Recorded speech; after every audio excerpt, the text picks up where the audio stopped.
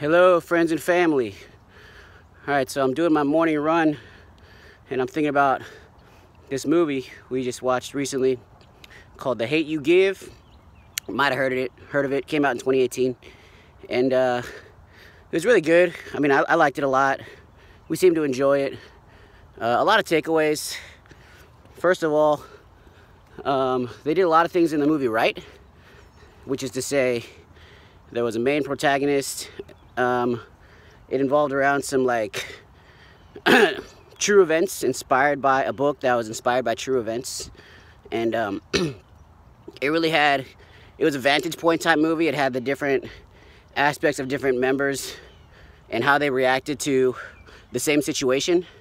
And they reacted really differently from each other based on uh, themselves, their own viewpoints and preferences.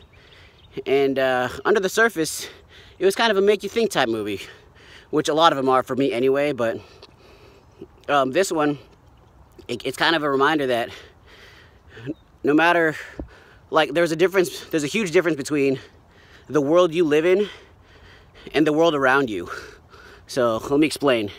The world you live in is kind of like uh, how it affects you yourself and a lot of things matter like location and uh, how, who, how much money people make and how they choose to manage that money and family background stuff and um, I think that if just because you have a neighbor or a family member or someone that you feel is close to you in some way it doesn't mean that they're living in the same world that you are so they are in the world around you but they're not in the world that you live in, if that makes any sense.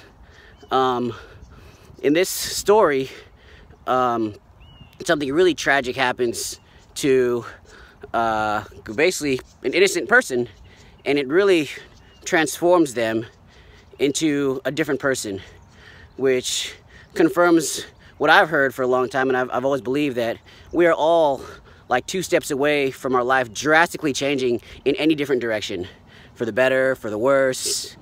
Um, and the circumstances that we put ourselves in aren't always the circumstances that we, we choose to be in. Um, a certain amount of them are, but um, certain things just kind of happen, you know, such as the village you were born into, you know. Um, well, yeah, it was uh, like I, I recognized some of the actors and stuff, and so that was a blessing and a curse because number one, uh, sometimes I just see the actor instead of the character. But um, number two, it was when, when I really forgot about who the actor was and I was focused on the character, it reminded me at how, how skillful they were at acting. So that was really cool.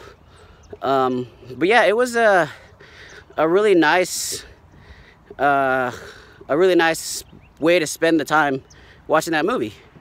Um, so, again, I feel like I'm very lenient on some of my movie reviews, but, I, well, actually, if it sucked, I probably wouldn't even be talking about it. But, yeah, since I am talking about it, I would say uh, it's not a bad one to check out. There is some kind of cheesiness to it and some predictability to it that is kind of necessary for the overall arc. But um, I would say all in all, um, it's it's uh I'm glad I watched it. And not just because it was entertaining, but also because uh, it made me think a little bit. Um, yeah, I guess that's it.